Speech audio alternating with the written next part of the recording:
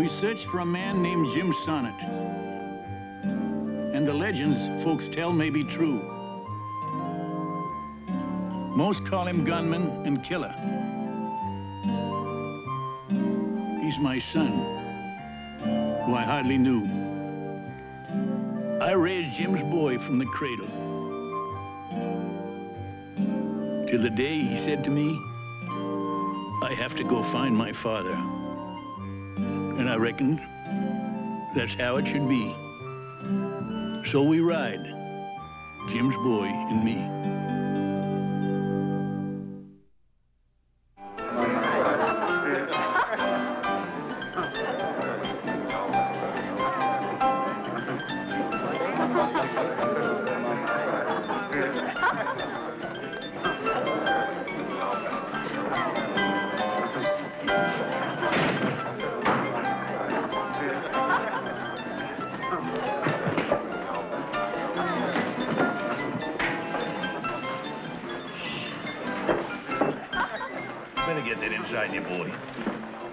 Be a spell before we're sitting down to a hot supper again. It's been three weeks now, Grandpa. If he'd have been in the high country, we'd have heard something by now. Your pa ain't going around wearing a sign around his neck, Jeff.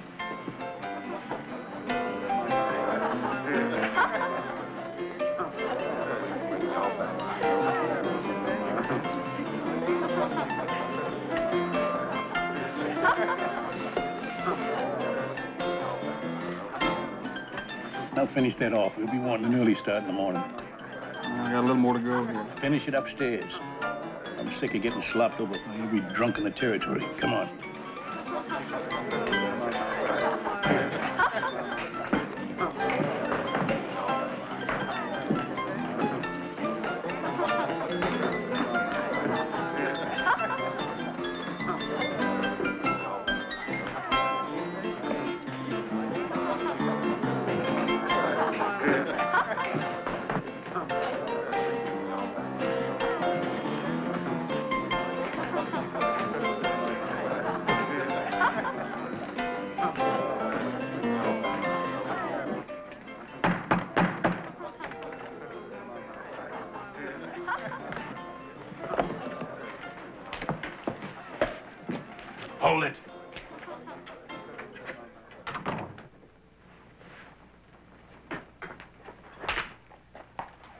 Where's the old man?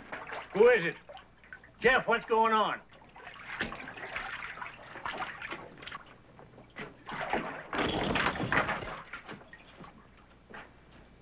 You better lay the guns down there, Sonny. Nice and easy like. Come on, I ain't gonna wait all night for you. Make up your minds. I'm too old and tired to sit up and discuss it. Put it away, Lando. You'd be smart if you put that down. At least till you hear what we got to say. Maybe you'll talk better without these. We hear you've been trailing Jim Sonnett. Now, that could be very unhealthy. Why so? Well, we happen to be a friend of Jim's. Have been for a long time. We wouldn't want to see any harm come to him. Well, what makes you think we mean harm to him? Most people looking for him usually do. Well, now, it seems to me if you know James, you'd have recognized the resemblance. I'm Will Sonnett, James's father. And this here's his son, Jeff. You got proof you're who you say you are? Well, you take a long look at Jeff there. I believe that's proof enough. You know where my paw might be? I know where you'll be. We're going to meet him in three days. Now, you're welcome to ride along if you'd like to. We'll be leaving in a half hour.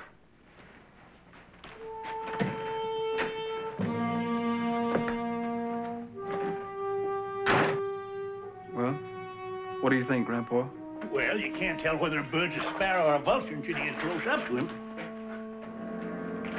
I guess that means we're going, huh? I reckon so. They ain't gonna come. That old man's too smart. He'll come. Having that old rattlesnake along ain't gonna make it any easier, especially when we hit that town. We ain't going to that town. That's Jim Sonnett's town. I just leave use our own deck and our own table. All right, Gaines, keep going. I don't know, Ray. A man like Jim Oh, he ain't gonna mess with the likes of you. Now, you just give him this message. You tell him Hanley's got his old man and his son. And if he don't come out to Devil's Fork by 12 o'clock Thursday, I'll have him buried by 1.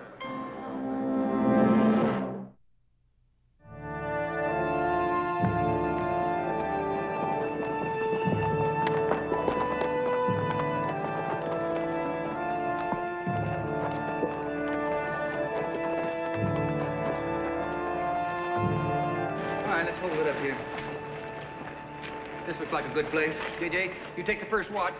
Somebody else take over when supper's ready. Hey, boy. You get some firewood. Dev, you take care of the animals. You a good hand with a cook fire, Mr. Sonnett? I'll help the boy get wood.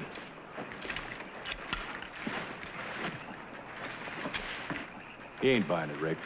Well, he's here, ain't he? And we're gonna keep him here. Jim Sonnett ain't gonna walk into Devil's Fork with his eyes closed. Now, we don't have those two to show him. You're gonna earn that $200 I'm paying you. I ain't never seen Jim Sonnett, but he sure enough put you up a tree.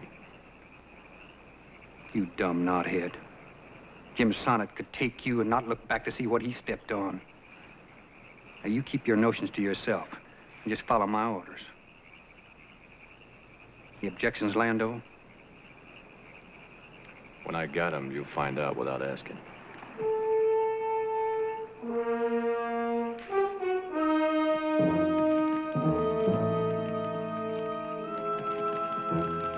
That's a dandy fire, Sonnett. Smoke got much higher than the treetops. Ain't hard to figure where Jim got a lot of his savvy. Oh, he learned quick enough. Lots of things. Patsy can smell smoke five miles, you know. James has got so he could smell it in three. I reckon I ain't never been in Apache country. Five miles, huh? Well, that put a man in the whole wreck to a start. That depends on the man. Me, I can smell an Apache for six miles. No brag, just fact. I seen an Apache outrun a team of horses, pull a man right down off a buckboard. Well, James was never much for running. Had a lazy streak. I guess he got that from his mother's side. I've heard Jim Sonnett made a, over a 100 miles in less than 24 hours. Half dragging a dying horse part of the way. I don't figure a lazy man could manage that. Yeah. well, maybe he's outgrown it. He always said it was just because he didn't figure on being no Apache. Not with them blue eyes like his pa's. Well, isn't that peculiar, Mr. Sonnett? The man I know has brown eyes. Hmm. That a fact. Well, maybe he outgrow the blue eyes, too. Coffee will be boiling in a bit.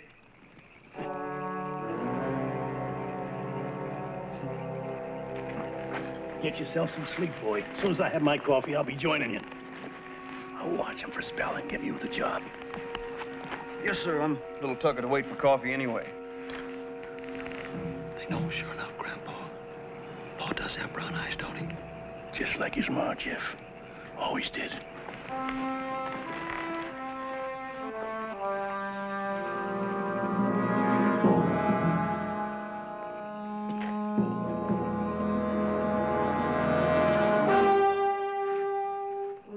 Those fancy carved guns of yours, Mr. Sonnett.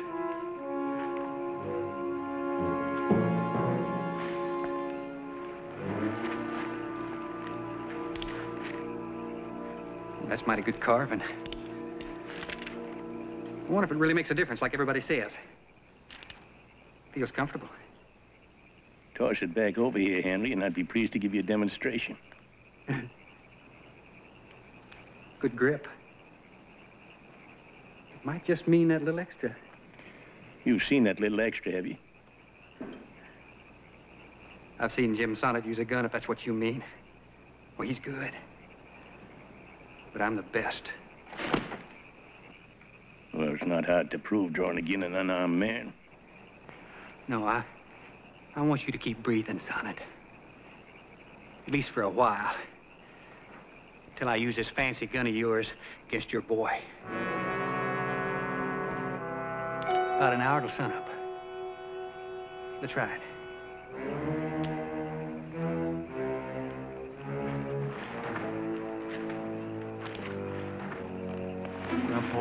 I'm sorry I let you down. I was supposed to keep watch. He figures to kill us, you know? Yeah, well, whatever he figures, Jeff, it's a long trip between figuring and doing. Hold it. All right, let's let him cool a little bit.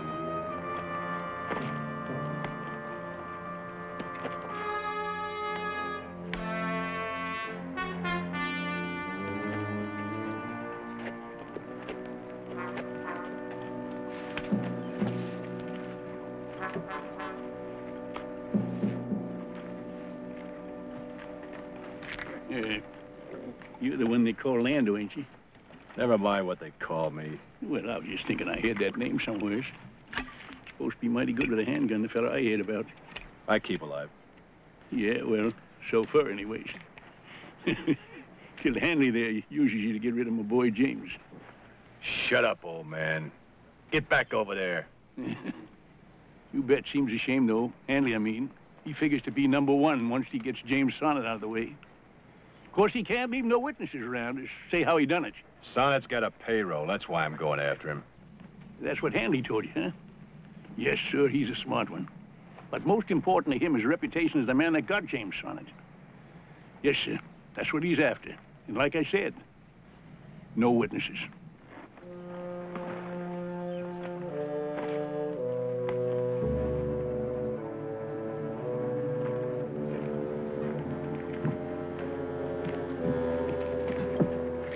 We gotta do something, Grandpa. Maybe we can make a break for it, huh? Yeah, we'll do something, boy. But right now we gotta stay with them till we get where they're headed. Remember, the bar will be there. Yeah. In an ambush.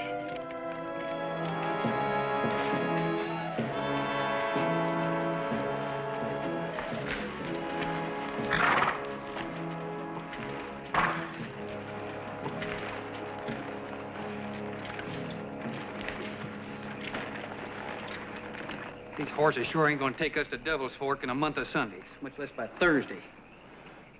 These are the best that livery stable had.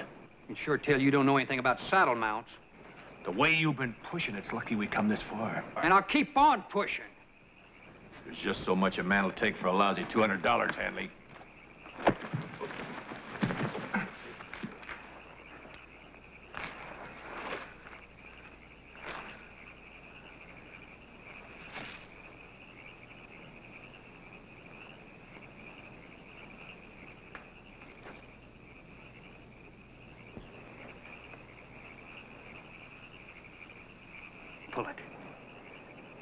Pull it or say one more word.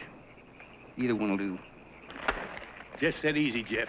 Them fellas want a little spat of snow hide off on us. Oh, man, you've been shooting off your mouth. Look out!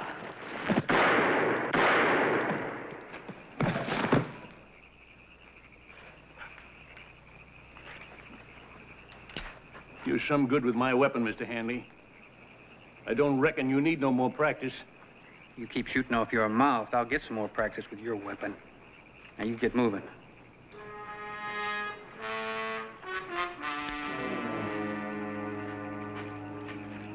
You'll have to overlook my grandson's manners. Not saying you're welcome, but saving your life. Oh, I'll thank him, Grandpa. I'm going to help him find his paw, and I'm going to bury him alongside of him. And you on the other side.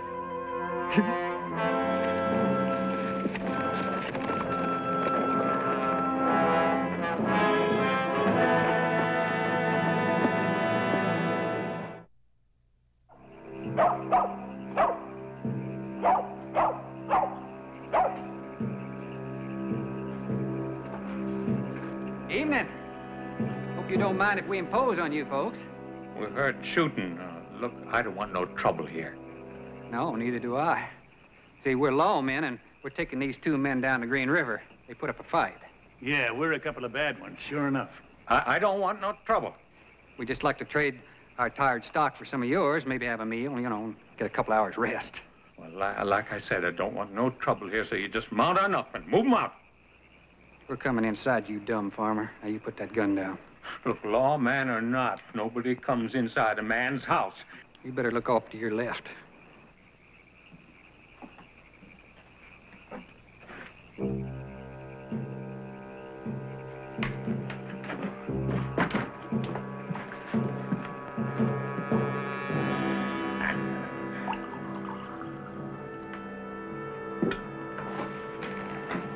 You said it. We didn't cause no trouble. Sit down up there. Just sit down. Everything's going to be fine.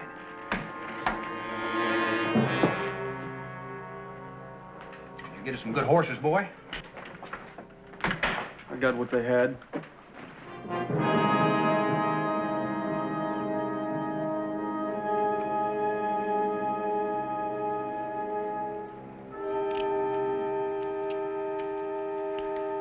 Got near two hours to wait till noon. I don't reckon you fellas could stand some hot coffee, huh?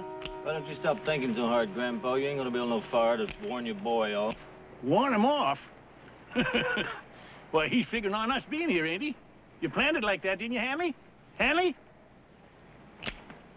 Go ahead and make the coffee. Besides, the last thing in the world I want to do is scare him off. His gun's the only thing that's going to keep me and the boy breathing regularly. Jeff, get the coffee making, huh? I'll get the fixings. You stay out here in the open. Hey, you watch him. I'd forget about Jim Sonnett's gun helping you, old man. He ain't apt to get a chance to use it. Yeah, maybe. Maybe not. But with so much money at stake, I don't figure any son of mine would be dumb enough to ride in here now, do you? All by yourself? What are you talking about? With what money? You gonna listen to that lying old man? There ain't no money. Now, you tell him there ain't no money. Well, I don't know about no money. Just what that Lando fella said. Before you killed him, that is. It ain't gonna work, old man. Now, you just make that coffee and keep shut.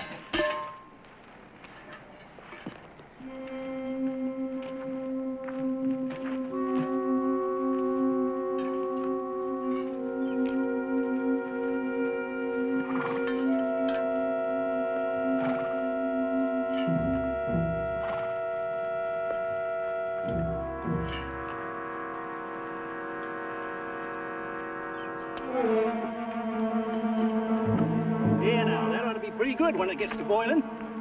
Yeah, it's too bad you won't be around long enough to enjoy it.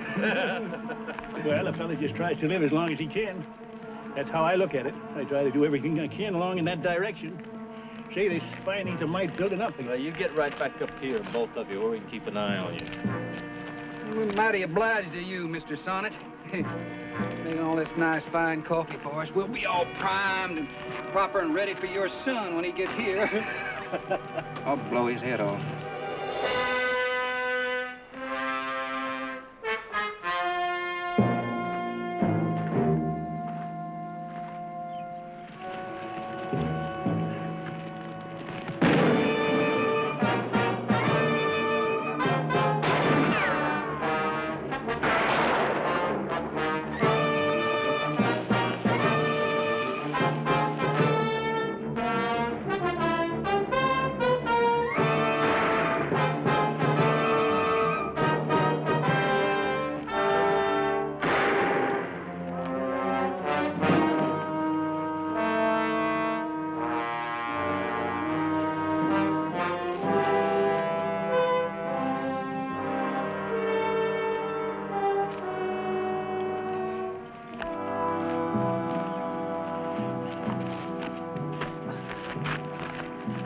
I always could brew a half a strong cup of coffee.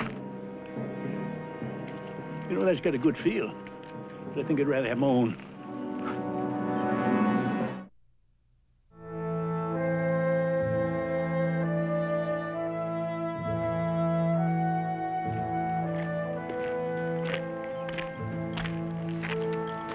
Coming on dusk. Well, he didn't come. How many things could have stopped him? Not getting Hanley's message, trouble along the way, not believing it. That's most likely it. Would you believe a message like that? Meet me at Devil's Fork. I got your pa and son. Huh? Would you? You, you think he would have come, Grandpa? Well, no way of knowing, boy. After all this time, but... But if I was to bet one way or another, I bet he'd have come. If he'd have knowed we needed him. Well, which way, Grandpa? Oh, I don't reckon it matters much. Since we don't know no more about one road than we do the other. See any hawks flying?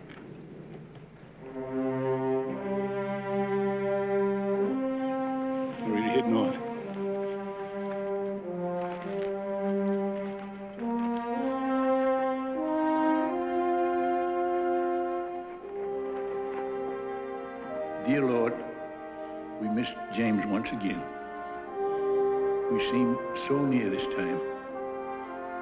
Please guide us so our paths will cross in thy own way, divine.